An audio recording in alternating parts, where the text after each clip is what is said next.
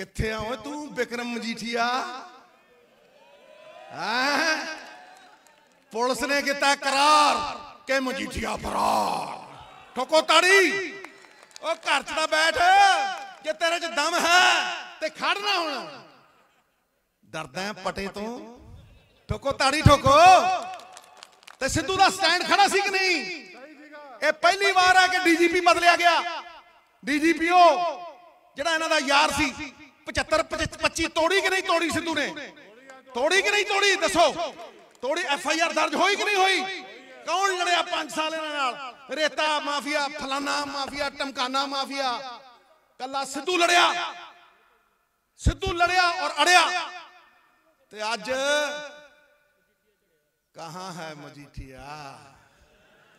ਠੋਕੋ ਠੋਕੋ, ਤਾੜੀ ਠੋਕੋ, ਜਰਾ ਟਿਕਾ ਕੇ ਇਹ ਇਹ ਉਹ ਲੋਕ ਨੇ ਜਿਹੜੇ ਸੱਤਾ ਪਿੰਦੀ ਅਮਰਿੰਦਰ ਵੱਡੇ ਵੱਡੇ ਤਸਕਰਾਂ ਦੇ ਨਾਲ ਸੌਂਦੇ ਹੁੰਦੇ ਸੀ। ਜਦੋਂ ਉਹ ਫੈਸਲੇ ਕਰਾਉਣੇ ਪੈਂਦੇ ਲੜ ਲੜ ਪੈਂਦੇ ਤੇ ਇਹ ਫੈਸਲੇ ਕਰਾਉਂਦੇ ਹੁੰਦੇ ਸੀ। ਇਹਨਾਂ ਦੀਆਂ ਲਾਲ ਬੱਤੀਆਂ ਵਾਲੀਆਂ ਗੱਡੀਆਂ ਦੇ ਵਿੱਚ ਚਿੱਟੇ ਵਿਕੇ ਇਹਨਾਂ ਦੀਆਂ ਲਾਲ ਬੱਤੀਆਂ ਵਾਲੀਆਂ ਗੱਡੀਆਂ ਦੇ ਵਿੱਚ ਡਰੱਗ ਦੀ ਸੇਲ ਹੋਈ।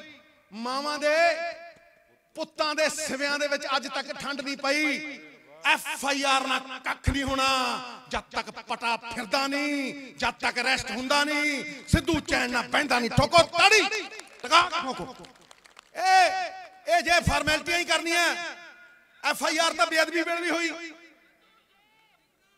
ਐਫ ਆਈ ਆਰ ਤਾਂ ਬੇਅਦਬੀ ਵੇਲੇ ਵੀ ਹੋਈ ਕਿ ਨਹੀਂ ਹੋਈ? 6 ਸਾਲ ਹੋ ਗਏ, ਇੱਕ ਦੂਜੇ ਤੇ ਕੱਪੜੇ ਪਾਉਂਦੇ ਰਹੇ। 6 ਸਾਲ ਹੋ ਗਏ, ਕਦੇ ਆਹ ਡੀਜੀਪੀ ਲਾਤਾ, ਸੈਣੀ ਨੂੰ ਬੇਲ ਦੇਣ ਵਾਲਾ ਐਡਵੋਕੇਟ ਜਨਰਲ ਲਾਤਾ ਤੇ ਸਿੱਧੂ ਨੇ ਲਹਾਤਾ ਕਿ ਨਾ ਲਹਾਤਾ? ਲਹਾਤਾ ਕਿ ਨਾ ਲਹਾਤਾ? ਹੈ? ਇਹ ਕਦ ਤੱਕ ਚੱਲੀ ਜਾਊ? ਵੀ ਹੁਣ ਮੇਰੀ ਵਾਰੀ ਤੇ ਫਿਰ ਤੇਰੀ ਵਾਰੀ। ਹੁਣ ਮੇਰੀ ਵਾਰੀ ਤੇ ਫਿਰ ਤੇਰੀ ਵਾਰੀ।